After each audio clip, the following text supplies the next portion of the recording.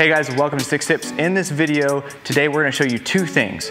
How fire contractors using UT or ultrasonic testing are non-compliant and doing more harm to you.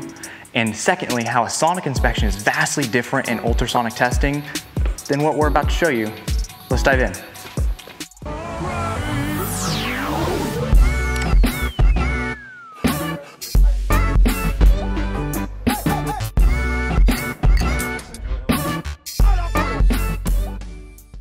All right, guys, welcome. I have Chad here.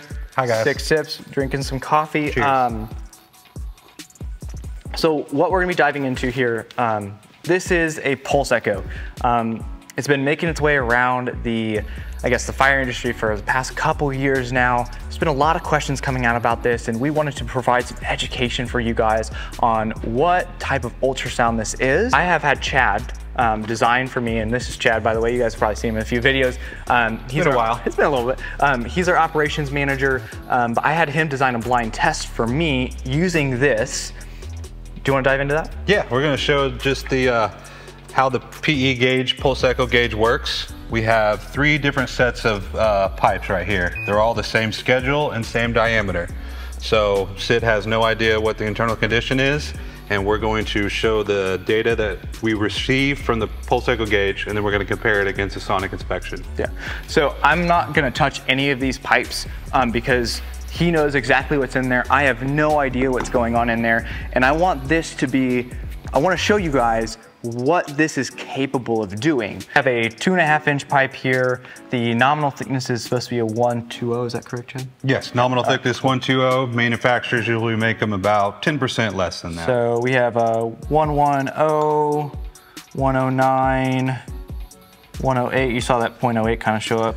So what we're seeing here is pretty much an average of Yeah. 107 to 110.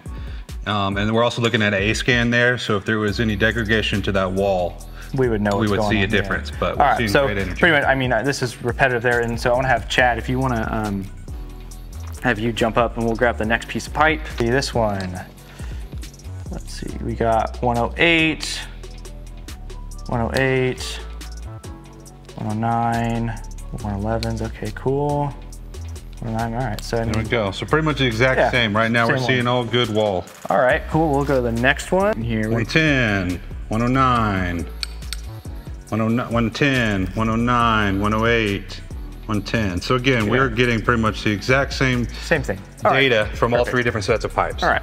So what you guys are seeing here is, is we are getting the same data that we uh, for all three pipes. And I again, I mean, based on this data, I would say, hey, these pipes are good. There's no wall thinning.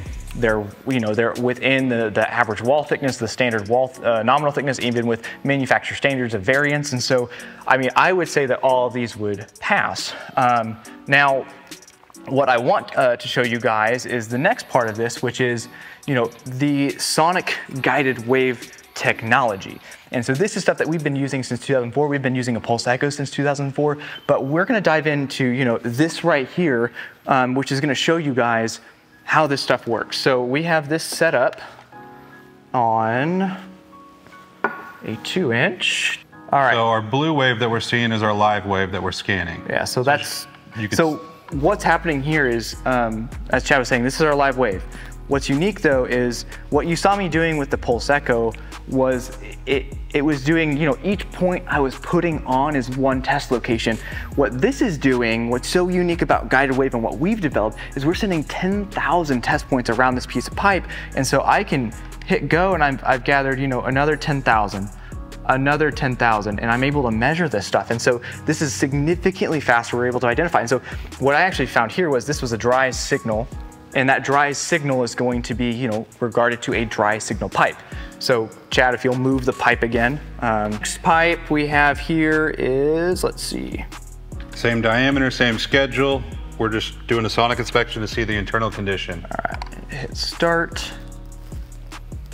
All right, so this is this is this is different. So um, based on you know my our non-destructive testing and, and our knowledge of this, um, I'm gonna say that this is the bad pipe. Uh, that would be a pretty good guess. I'm going to say that's the bad pipe. I'm, very, 100%. We have very little, little energy coming back All in right, our receiving right, all right. transducer, which would indicate that their internal condition is Yeah.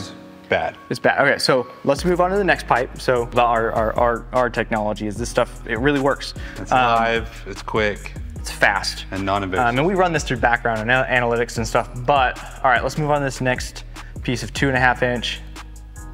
Okay, so this is unique too. So what we're seeing here um, is a wet signal um, instead of a dry signal. So this was set up on a dry pipe and we're seeing these leak waves that are in there. And what that is doing is that showing that there's water in there. That stuff that the pulse echo didn't pick up. And so what we're even gonna do now to really prove and show you guys the difference of this stuff is, you know, we're, we're actually gonna dump this stuff out. Um, but what I want to do and, and kind of discuss before this is um, we, we designed this test because the, I mean, Chad, tell me a little bit about pulse echo, just kind of what wave it uses um, and the importance of a pulse echo. So the pulse echo is going to be a bulk wave that goes from the outside diameter to the inside diameter to read the thickness of the wall. So if there was pitting or corrosion in there and you had to have the exact pinpoint of the PE gauge transducer on that portion. As we saw in our demonstration, all of the numbers around the circumference of the pipe were all Yeah, the same. all So they indicated yeah. that there was nothing wrong with the pipe. But that's just going to tell you the wall. Now with the sonic inspection, we're going to be able to identify dry, water, or obstruction and corrosion.